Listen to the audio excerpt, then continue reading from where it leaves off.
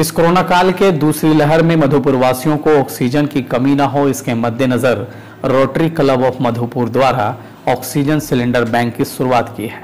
झारखंड के अल्पसंख्यक कल्याण पर्यटन, कला, संस्कृति, युवा कार्य विभाग के मंत्री हफीजुल हसन ने शैलम स्कूल सभागार में ऑक्सीजन बैंक का उद्घाटन किया। मौके पर मंत्री हफीजुल हसन का स्वागत। सैलम स्कूल की ओर से बुके देकर की गई। मौके पर एसडीओ योगेंद्र प्रसाद समाज सेवी सुशील सुरेखा, अनुमंडलीय अस्पताल के उपाधीक्षक डॉक्टर मोहम्मद शाहिद, डॉक्टर इकबाल खान समेत उपस्थित अतिथियों को बुके देकर स्वागत किया गया। इस अवसर पर मधुपुर के स्वास्थ्य सुविधाओं को बेहतर बनाए जाने को लेकर मंत्री हफीजुल हसन ने कहा कि लोग पहले अनुमंडल अस्पताल पहुँचे और सरकारी स्वास्थ्य सुविधाओं का लाभ लें। उन्होंने प्राइवेट अस्पतालों में अपनी कड़ी नज़र रखने की बात कही। उन्होंने कहा कि मधुपुर में नेतागिरी नहीं, काम किया जाएगा और एक नया मधुपुर बनाया जाएगा। रोटरी क्लब समेत अन्य लोगों द्वारा इस तरह के कार्यों की उन्होंने सराहना की। साथ ही विधायक मत से जल्द ही अस्पताल को एंबुलेंस व सह वाहन देने की बात मंत्री ने कही।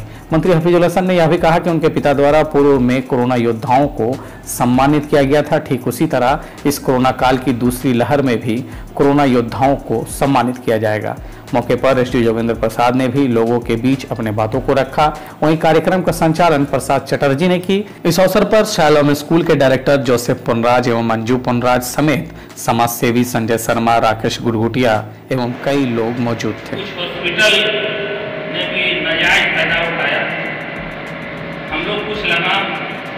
प्रशासन के तरफ़ से मीटिंग करके लगाए हैं और भविष्य में भी इसको कितना बेहतर हो सके, वो हम लोग करेंगे। सबको ये हम लोग को प्रचार करना है कि रेफरल हॉस्पिटल पहले आप आइए।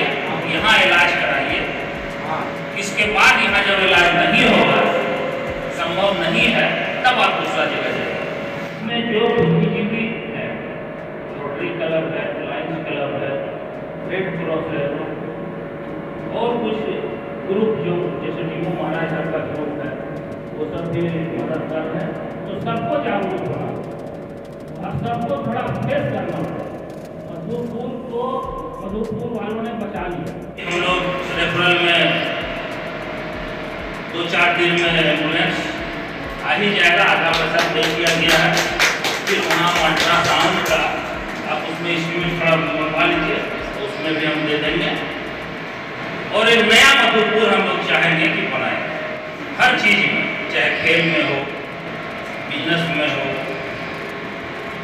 मधुपुर में अभी साढ़े तीन साल नेतागिरी हम लोग बन रहे काम करके पास करेंगे। हमारे वालिद साहब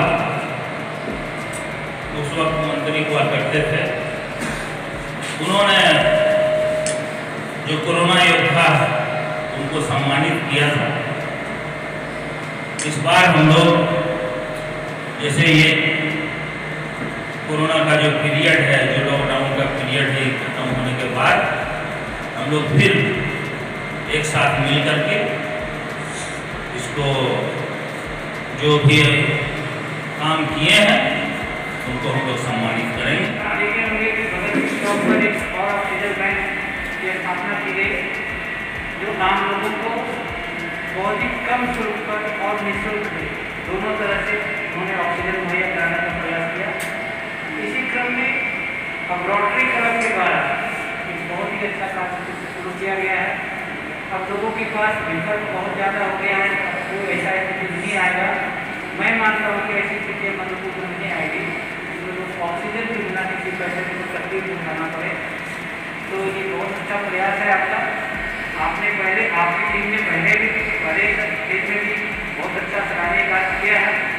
जोसेफ जी, सुशील जी गुरगुटिया जी, ये सारे लोग जो भी पूरी टीम है समूह ने अच्छा काम किया।